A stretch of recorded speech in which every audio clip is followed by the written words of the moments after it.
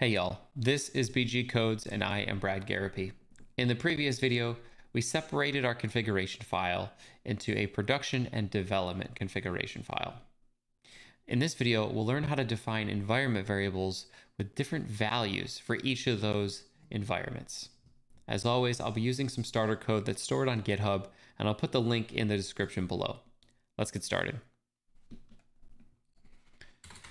So for the sake of this example, let's assume that you have two different API backends and they have different URLs. One is located at bradgarropy.com and another one might be located at dev.bradgarropy.com.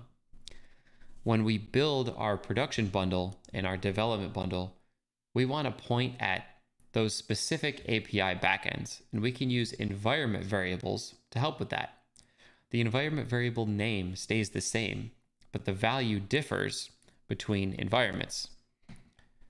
And luckily, Webpack has a plugin that can help us with this.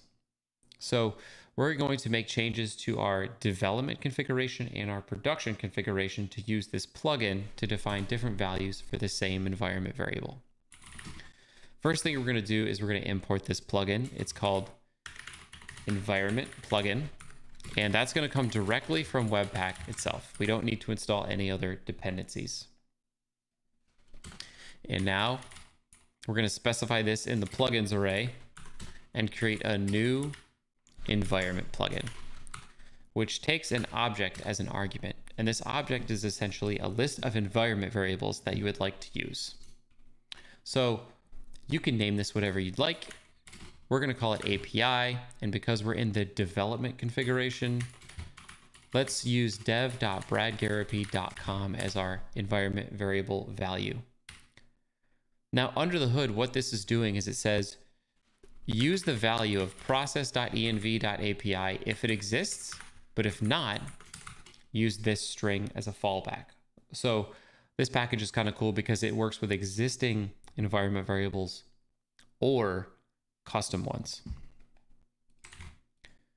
So in order to see if this works, let's go to our index file and just log out process.env.api. And we'll run npm start, which will start our project in development mode. And we should expect to see dev.bradgarropy.com. And look at that. When I reload, we do indeed see dev.bradgarropy.com.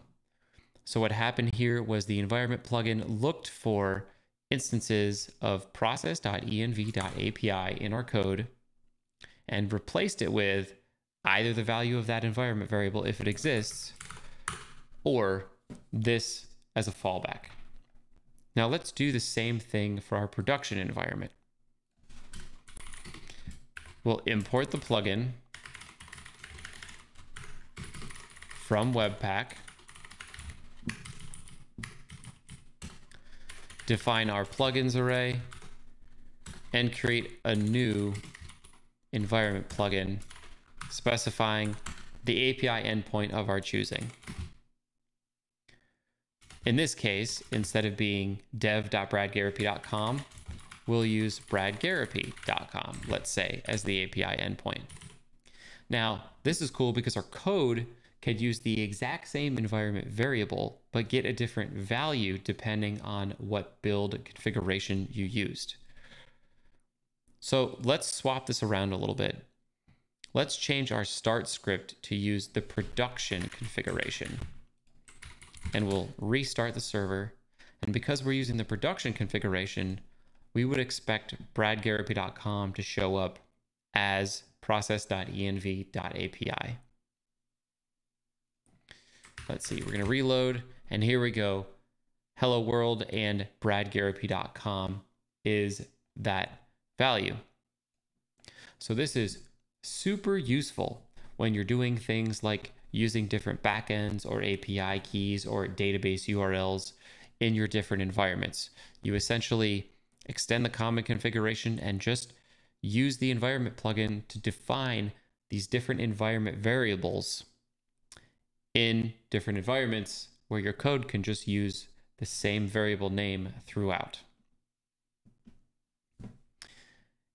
So thanks for sticking with me in this video. In the next video, we're going to talk about using loaders to process different file types within Webpack. I'll see you there.